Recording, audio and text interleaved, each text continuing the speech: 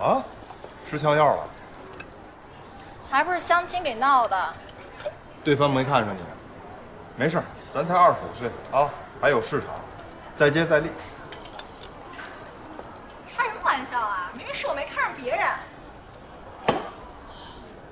那之前介绍人不是说这小伙子挺好的吗？工作稳定，人老实，这个头模样都不错。哎，家里还给准备房子了，你还有什么不满意的？没感觉。感觉？喜悦，我可得说你，你当自己是十六七岁小姑娘呢，还感觉？哎，你这岁数可危险，千万别找感觉。过两年再不把自己嫁出去，真成大龄剩女。我要成大龄剩女了。你可得对我负责任。那肯定的。真的？你这过两年再不把自己嫁出去，我不得给你交养老保险什么的。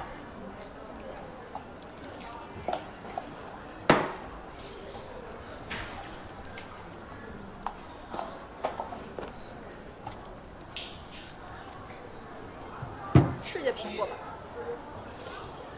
你说这孩子多好，跟我干了这么多年，那工作上肯定是兢兢业业，每天还坚持不懈巴结老板一苹果。这么好的员工哪儿找去？我可得把你看住了，要不然再让别人给你挖走了。你且得看好我。你看看，你这店里开了这么多年，就我这么一个员工。嗯。我可告诉你，你要是回头我被别人给抢了去，那你就能只身打天下了。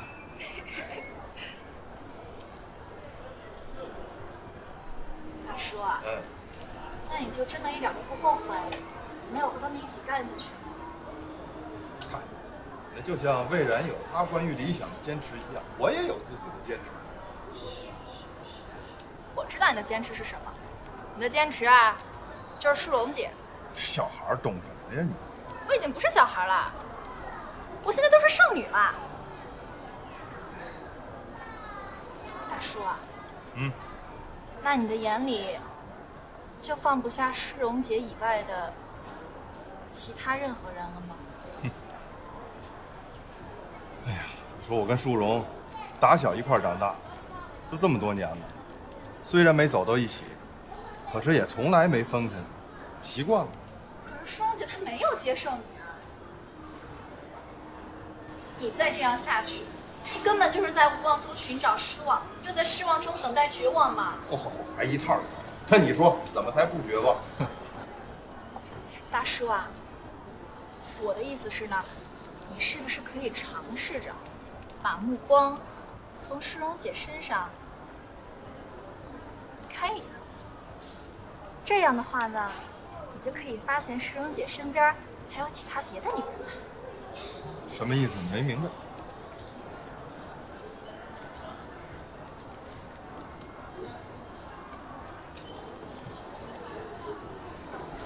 大叔，我喜欢你，我们在一起吧。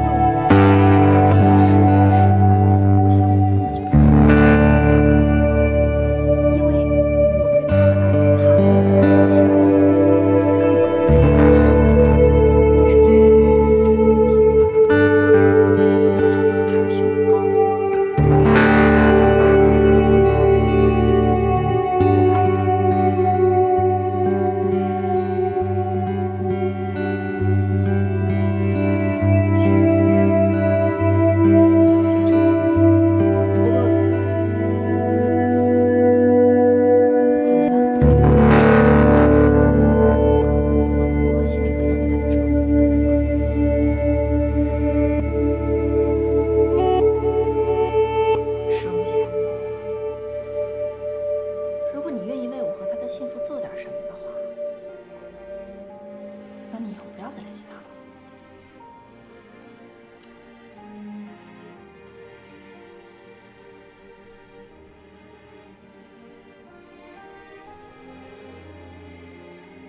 我答应你。